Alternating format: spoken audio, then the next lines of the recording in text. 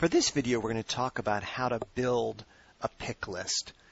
And in an earlier video, we talked about how to modify an existing pick list field. And the example was uh, volunteer skills. And then we showed how to uh, create a, a, build a checkbox field.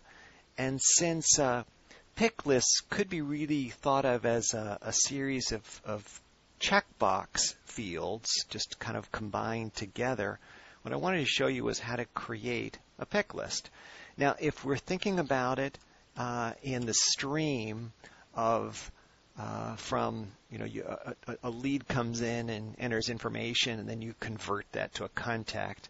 You end up having to have information the same field in both the contact and, and originally in the leads. Um, and so what we want to do is to is to look at, at how do we kind of make it really easy for the user, but then easy to, to manage and administer.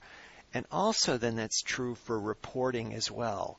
So the more we use pick lists and checkboxes, those kinds of things, the, the more consistent the information is and the simpler it is to, to manage. Um, so what we're going to do is we're going to create a, a, a multi a pick list, a multi-select pick list where we'd have multiple values. In this case, we're just going to have a, a single value pick from a list. Uh, you can experiment with how that would work. Um, gonna let's see. In this case, I'm going to name it. I'm going to name it urgency. Um, we have the choice of using a global pick list value set or entering values. Now, entering values is what we did for the volunteer interest field a lot of that was a legacy issue because global pick list didn't didn't exist. I think when the uh, the original package was built. Um, but just to show you what the uh, the pick list value sets, they live within the objects and fields, uh, and in this case, I've I've built one called uh, urgency time frame, and it just lists out a series of selections again for consistency to make sure that that we're able to then report on uh, what the status is of, of volunteers. Um, and what I'm going to actually do is end up linking this to required service as well as a separate step. Um, but let me show you how we would do this. So I'm going to add it as uh, uh, urgent timeframes as my global pick list. Um, what that also means then is, is I can use this same information in the leads record, um, and therefore I only have to change it in the global pick list value set if I need to change it, it would occur as changes in both. Um, again, we can enter descriptions, texts, we can require it, we can do all the same things we've done with pick lists. In this case, I'm going to accept the defaults uh, in terms of what profiles everyone has access to, access to it for now, and then I'm also going to save it as uh, uh, to the layouts that we had.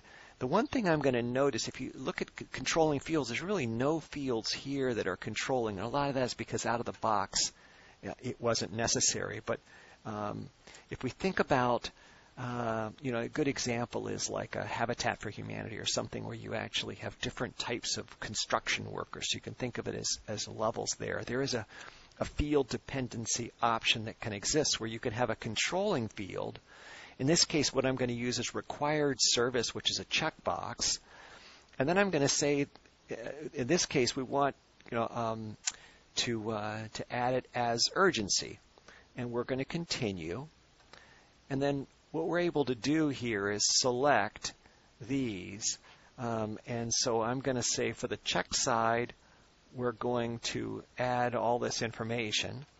And I'm going to say include these values and I'm going to save it. But because I don't have anything in the unchecked side, because I really didn't didn't care, I'm going to say nope. There's nothing there I want to use. So I'm going to say just OK.